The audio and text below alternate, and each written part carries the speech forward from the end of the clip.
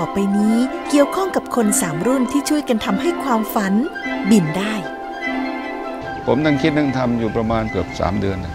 ในช่วงที่นั่งทำอะเด็กเข้ามาเห็น มาด้วยความอยากเล่นนะครับ แต่อยากเล่นเราก็ต้องต้องทำเป็นให้ได้ เด็กพวกนี้เขาก็ช่วยกันคิด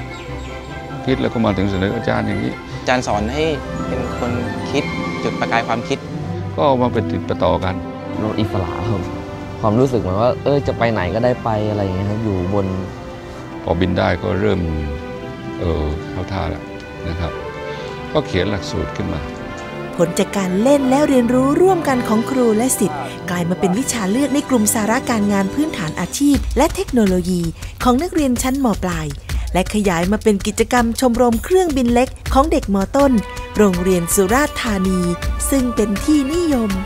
น้นทักษะกระบวนการตามจุดเน้นของสาระการงานอาชีพ ก็คือให้เด็กคิดเป็นทำเป็นแก้ปัญหาเป็นอยู่ในสังคมอย่างมีความสุขนะครับ เหมือนกับการเรียนแบบโครงงาน เพราะฐานของงานช่างคือความรับผิดชอบต่อการสร้าง ให้เกิดผลสำเร็จ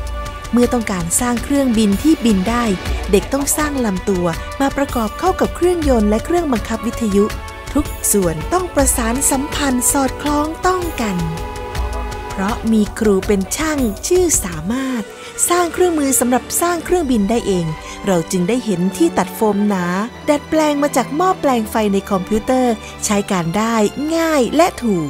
การทำงานช่างนั้น ทุกอย่างมันเป็นเหตุผลคล้องจองกันหมดนะครับขึ้นรถยนต์เนี่ยล้อมันจะต้องหมุนหมุนโดยการเพลาเป็นตัวหมุน เฟืองเกียร์มันต้องขับขับมาจากเครื่องยนต์ครับ มันต้องส่งกันมาเป็นทอดแล้วต้องสัมพันธ์กันด้วย ถ้ามันไม่มีเหตุผลคล้องจองมันทำงานไม่ได้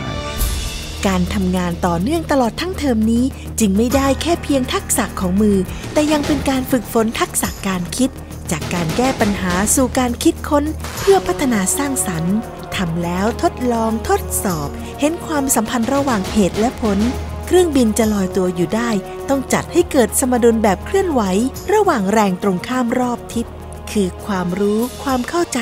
ในการปรับตัวให้สอดคล้องกลมกลืนเข้ากับพลังของธรรมชาติ ก็เหมือนกับการทำเครื่องบินนะครับ อันดับแรกก็อะรูปทรง อันดับ 2 การขับเคลื่อน อันดับ 3 มุมองศาต่างๆ สุดท้ายแล้วผลสำเร็จคือเครื่องบินเราบินได้ เป็นวงจรการเรียนรู้แบบบูรณาการชวนเด็กๆ ออกเดินทางผจญภัย ผ่านแดนแห่งความไม่รู้ด้วยความสมัครใจ มีเครื่องบินเล็กเป็นพาหนะนำไป คิดแล้วลงมือปฏิบัติให้เกิดผลพิสูจน์ เพื่อเข้าใจจิตและดึงความคิดสร้างสารรค์ออกมาจากข้างใน พัฒนาจากผลสำเร็จต่อยอดบินสูงขึ้นไป เป็นวงจรการเรียนรู้ เพื่อสร้างทักษะชีวิตดี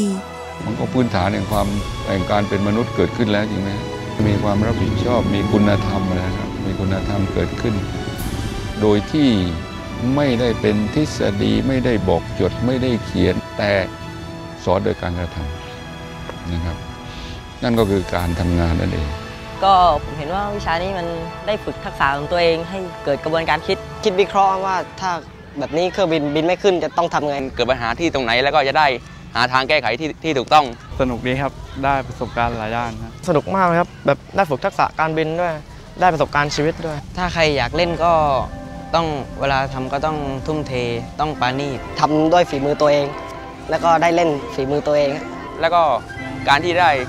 บินเหมือนนกนี่มันเป็นสิ่งที่สุดยอดแล้ว ความยินดีปรีดาของเด็กๆที่ได้บินและบินได้ในวันนี้จึงไม่ใช่เพราะเอาชนะธรรมชาติได้ แต่เพราะเข้าถึงความลับของธรรมชาติ แม้ไม่ให้ปีกเรามา แต่ให้ความฝันและศักยภาพในการเรียนรู้มาทดแทน บทเรียนสำคัญวันนี้จึงอยู่ที่การค้นพบว่า อนาคตนั้นเป็นสิ่งที่เรากำหนดเลือกได้ เพราะเราเป็นมนุษย์ผู้สามารถเปลี่ยนปัญหาท้าทายให้กลายเป็นโอกาสในการเรียนรู้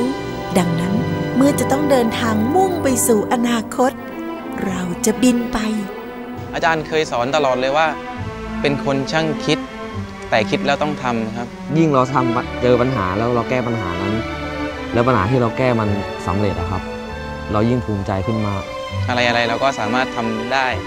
แค่เรามีความคิดแล้วก็ทำ